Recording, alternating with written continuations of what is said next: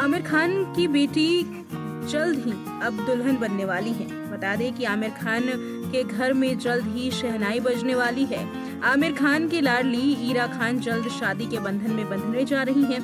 कुछ ही दिनों में ईरा खान अपने मंगेतर नुपुर शुक्रे के साथ साथ फेरे लेंगी ऐसे में जोरों शोरों के साथ शादी की तैयारियाँ भी हो रही हैं।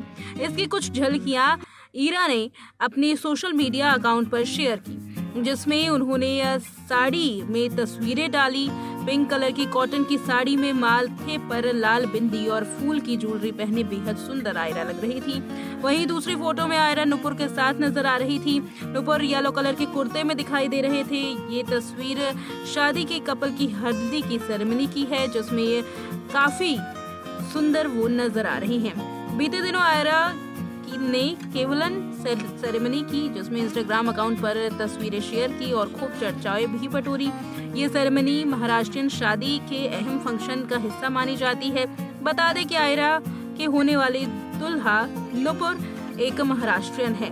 वही खबर ये सामने आई अगले साल जनवरी के महीने में दोनों की शादी होगी और तीन जनवरी की शादी होने वाली है, जिसमें पहले तो कोर्ट मैरिज करेंगे और उसके बाद डेस्टिनेशन वेडिंग के लिए उदयपुर जाएँगे। वहीं शादी के बाद आमिर खान मुंबई में ग्रैंड वेडिंग रिसेप्शन का आयोजन भी करने वाले हैं। इस तरीके की खबरें सामने आ रही हैं। लेकिन इससे बीच में जो तस्वीरें देखने के लिए मिली, ये तस्वीर अपने आप में ही हैरान कर देने वाली थी। दरअसल, शादी की तैयारियाँ काफ़ी लंबे वक्त से चल रही हैं। प्री वेडिंग के तमाम फ़ंक्शंस किए जा रहे हैं। लेकिन इन फ़ंक्शंस के बीच में एरा खान की माँ तो नज़र आ रही है, लेकिन नहीं नज़र आ रहे तो फिर वो है आमिर खान। जी हाँ आमिर खान अपनी लाडली बेटी के प्री वेडिंग फ़ंक्शन से दूर हैं। वो दूर दूर तक कहीं भी इस फ़ंक्शन में नज़र नहीं आए।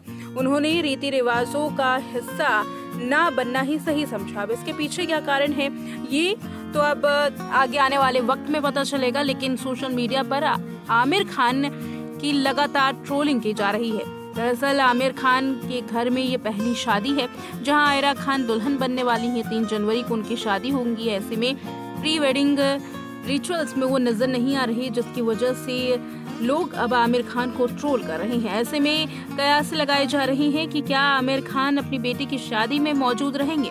आपको बता दें, हाल में ही खबर सामने आई थी कि आमिर खान मुंबई से चेन्नई शिफ्ट हो रहे हैं क्योंकि उनकी माँ वहाँ पर हैं और साथ ही उनकी माँ बीमार है, इस वजह से वो कुछ दिन अपनी माँ के लिए ध्यान रखेंगे। वक्त निकालेंगे। ऐसे में उनकी बेटी के प्री वेडिंग सेरेमनी की शुरुआत अपने आप में ही काफ़ी कुछ सवाल खड़ा करती है। ऐसे वक्त में आखिर सेरेमनी क्यों रखी गई? और इस सेरेमनी में आखिर आमिर खान क्यों नज़र नहीं आ रही हैं? ऐसे में लोगों ने आमिर को ट्रोल करना लगातार शुरू कर दिया है।